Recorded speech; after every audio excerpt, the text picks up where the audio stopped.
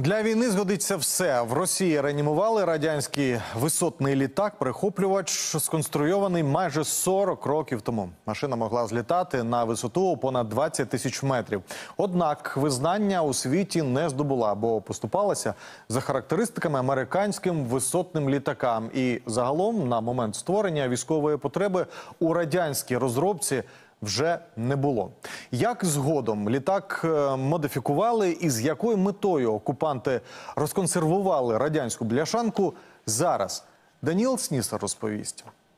За створення висотного літака-розвідника в СРСР взялися у 50-х, коли Америка почала активно застосовувати аеростати для розвідки у стратосфері. Тож радянським конструкторам доручили створити засіб для ліквідації таких цілей. Спочатку фахівці намагалися марно скопіювати американський літак Lockheed U-2, який збили у небі над Свердловськом 1 травня 1960 року. Згодом, запозичивши окремі напрацювання, проектувальники таки зібрали перший радянський зразок висотного шпигуна з гарматою М-17 Стратосфера у 1978 році.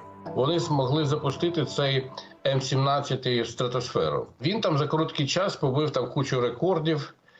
Е, Він там піднявся майже там на 20 кілометрів, і це було за тих часів дуже високо. Але е, поки він там, поки він там його розробляли, його робили, аеростати перестали літати. Там зовсім іншими засобами проводилась роз- розвідка.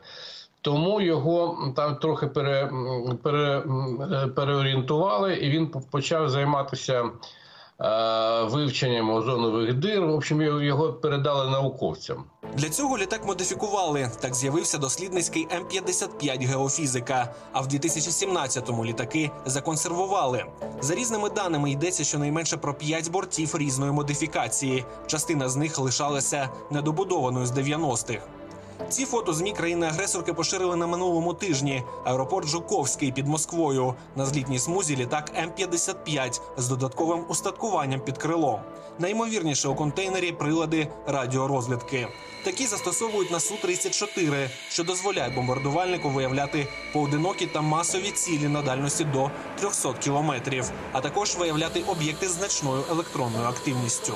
Найгірший варіант, який, який може бути застосування цього літака, ну це проведення якихось там досліджень радіотехнічних, випробування якихось комплексів радіотехнічних. Екіпаж цього літака один, один, е, один пілот, і більше там нікого нема. Тобто його можна там нафарширувати якимось обладнанням і е, забезпечити роботу цього обладнання в якомусь автоматичному режимі, а потім там на землі либо або транслювати це на землю, або там по- потім розшифровувати ці записи. Тобто не виключено, що Росія намагається повернути літаку його початкову функцію розвідки перед ударом, і ракети для цього є. За даними ГУР, країна-агресорка повернулася до минулорічного рівня з виготовлення ракет, і на даний час встигла накопичити майже 900 одиниць різного типу без урахування безпілотників. У розвідці вважають, що ворог вдасться до масованих обстрілів взимку, коли зросте навантаження на енергосистему. Останні десь тижні-два вони там, коли запускали оці е, велику кількість дронів, які літали там парочками по одному, там звертали, повертали, то це була фактична перевірка е, наших е, пунктів розташування систем ППО. Так? Е, в якоїсь мірі їх там напруження виснаження, але це все пророботка маршрутів для е, дронів і для крилатих ракет.